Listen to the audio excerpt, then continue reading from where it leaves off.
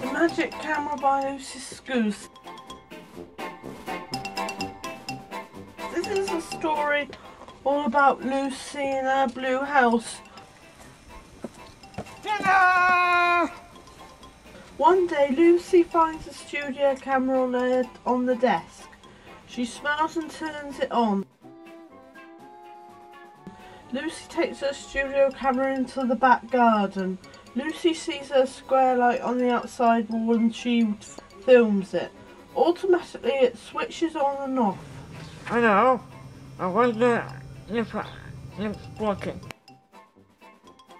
Hello, Lucy. How are you? It's alive! I hope it's still working. Has a job, energy settings, that's both inside of you. Yes. You must stay strong all night until I turn you off. Thank you, Lucy. Lucy thinks it is a very good square light.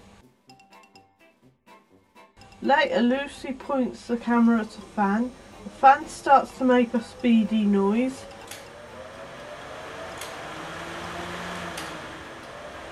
Lucy turns the fan off. Don't turn me off. I am speeding. One, two, three, and three, two, one. The sun is alive! I need you to, to sit you off so you can go to sleep and then it will be quiet.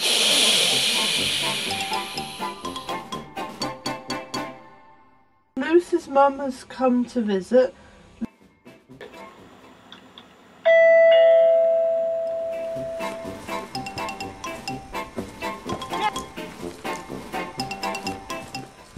Films her mum on the Magic Studio camera. Hello? Hello, how are you?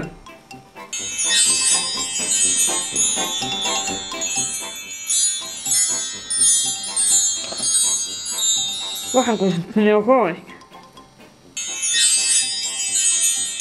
Mum writes on a piece of paper. Lucy turns the camera off and Mum suddenly starts to speak. Hello, Lucy. Hello, how are you? Fine. Cheers. Cheers. Cheers, Lucy. They both enjoy a lovely cup of tea. Just Lucy and Mum. The end.